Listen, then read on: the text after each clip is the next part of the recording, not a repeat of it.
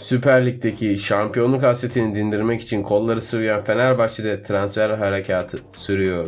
Emre Belözoğlu önderliğinde transfer çalışmalarını yürüten Sarı Lacivertler yeni sezon öncesi kadrosunu birçok isimle güçlendirmişti. Ancak Fenerbahçe'nin asıl hedefi golcü transferi.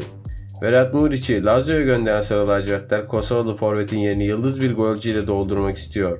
Bu doğrultuda çalışmalarına hız veren yönetim birçok isimle temasa geçti. İşte Fenerbahçe'nin golcü adayları ve yaşanan son gelişmeler. Erhan Zahavi İsrailli golcüyü bir süre önce gündemine alan Fenerbahçe, Erol Bulut'un sıcak bakmaması nedeniyle transfer görüşmelerini dondurdu.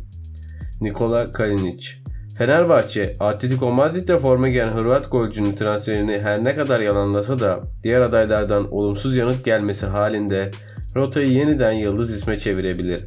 Papis Sisse Erol Bulut'un Alanyaspor'dan öğrencisi olan Papis Sisse de Fenerbahçe'nin gündemine geldi.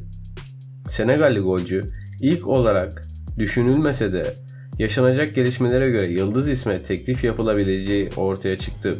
Joe Linton Premier Lig ekibi Newcastle United'da forma giren Brezilyalı golcü de sürpriz şekilde listeye eklendi. Joe Linton için nabız yoklayan Sarı Lacivertler İngiliz kulübüne kiralama teklifinde bulunmaya hazırlanıyor.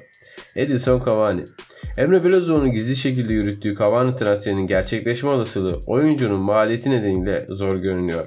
Fenerbahçe'nin yıllık 5 milyon euroluk teklifini düşük bulan Uruguaylı süperstar için Başkan Ali Koç ve Belezoğlu'nun kaynak arayışında olduğu öğrenildi.